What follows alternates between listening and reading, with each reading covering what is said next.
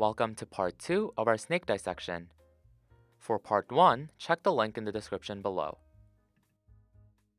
So let's take a look at the internal anatomy.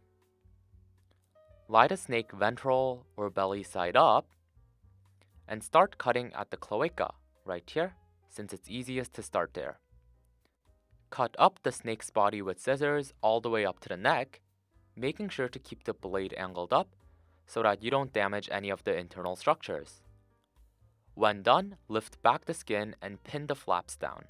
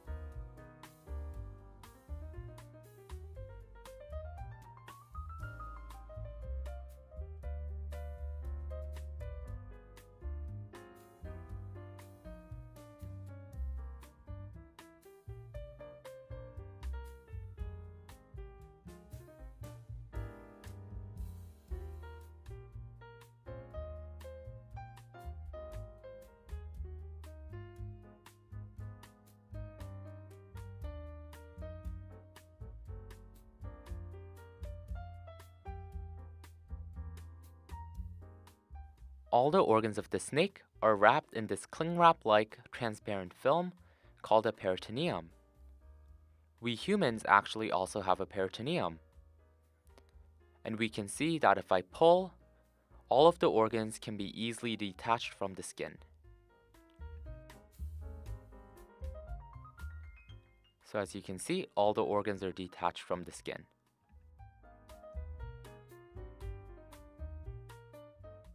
We won't show the entire footage, but we'll also cut and peel away the peritoneum.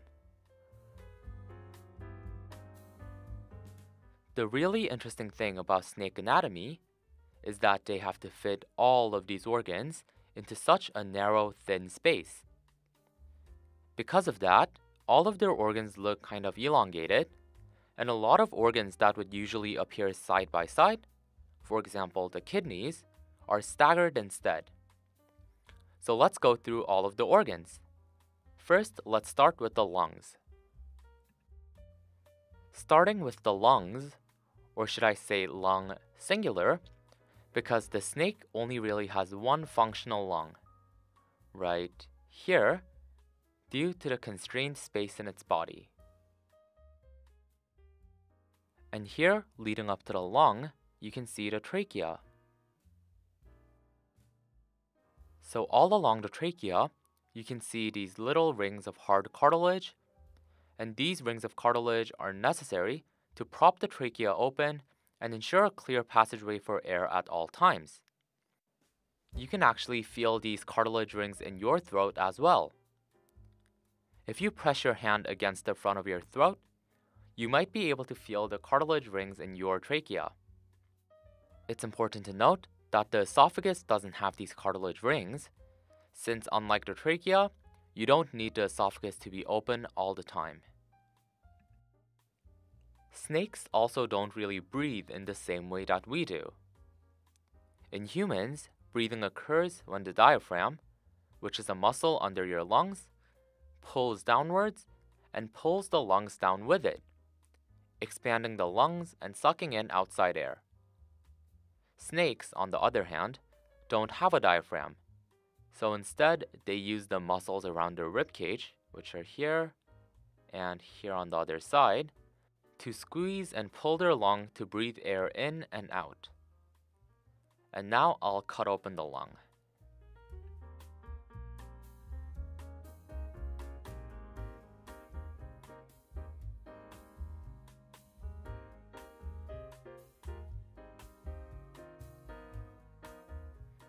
So when I cut open the lung, you can see that it's actually hollow. Human lungs don't look like this. They look more like a sponge, and if you watch our pluck video, which is linked in the description below, you can get a better feel for what that looks like. Anyway, in the snake lung, you can see it's actually hollow, with this really cool honeycomb-like structure on the inner surface. This honeycomb is the actual gas exchange surface, so it's lined with a lot of tiny blood vessels called capillaries that absorb oxygen and expel carbon dioxide. This honeycomb-like structure provides a lot of surface area to facilitate gas exchange. Now let's take a look at the heart. So moving the lungs aside, this is the heart right here. And since there is no diaphragm, you can see that the heart can actually move around quite a bit.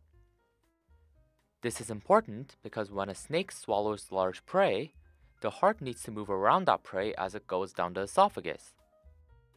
You can also see the heart is encased in the shiny protective layer called the pericardium. We'll cut and peel open this pericardium to get a better look at the heart inside.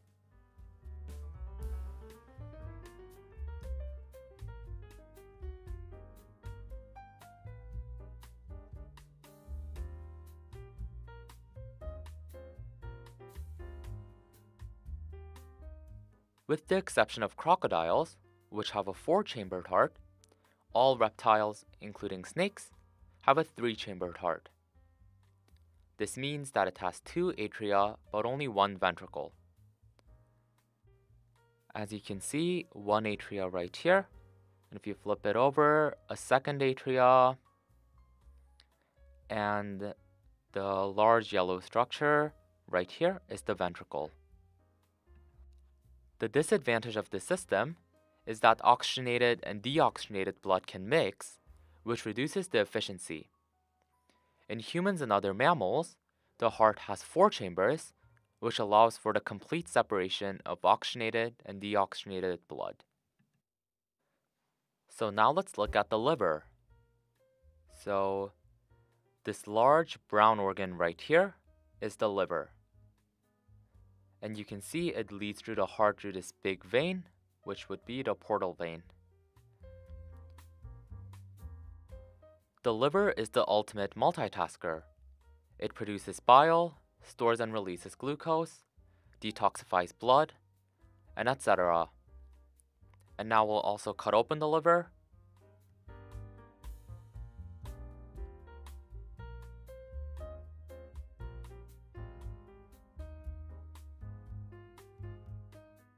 So from the cross section, you can see that the liver is made of formless, slightly squishy glandular tissue.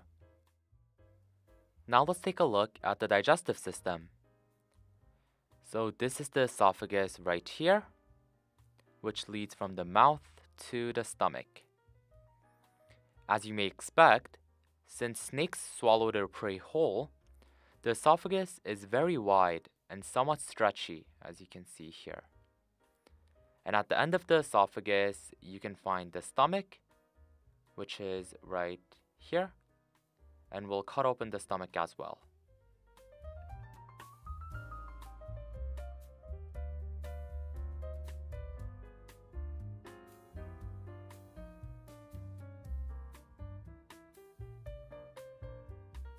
So here, because I cut open the stomach, you can see the inside.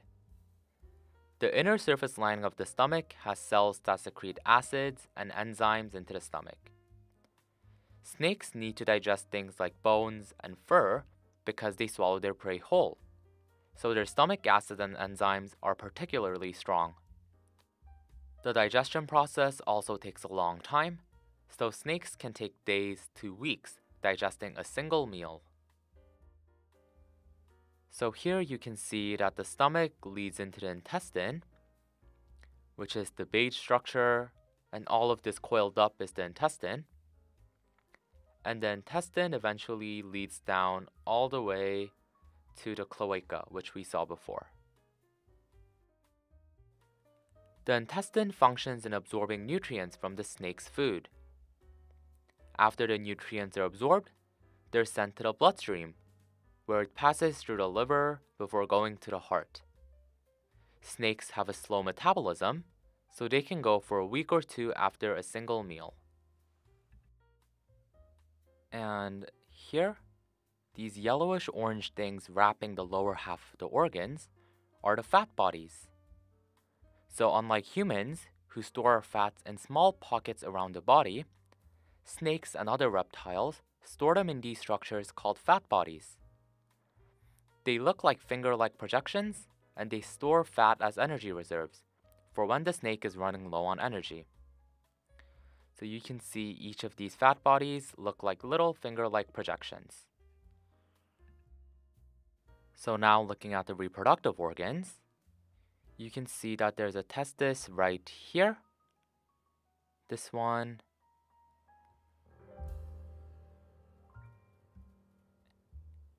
And a little down, there's a second testis right here. So this one. So these two are the testis. Like I mentioned before, you would usually expect to find the two gonads right next to each other, side by side, but in snakes they're actually staggered, so one is slightly above the other. And this is because snakes are so long that the two gonads can't be located side by side. And here at the very end are the two kidneys.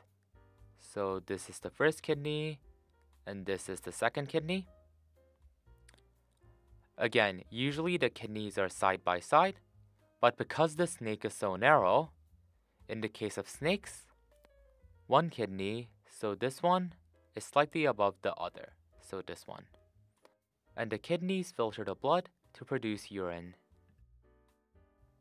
So that's the end of our snake dissection. Thanks for watching.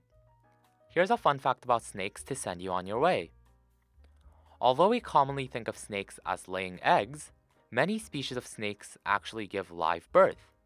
Some examples being boa constrictors, anacondas, sea snakes, and even garter snakes, which is the species of snake we dissected today. Thanks again, and please subscribe if you found our video helpful. It really helps the channel reach a wider audience.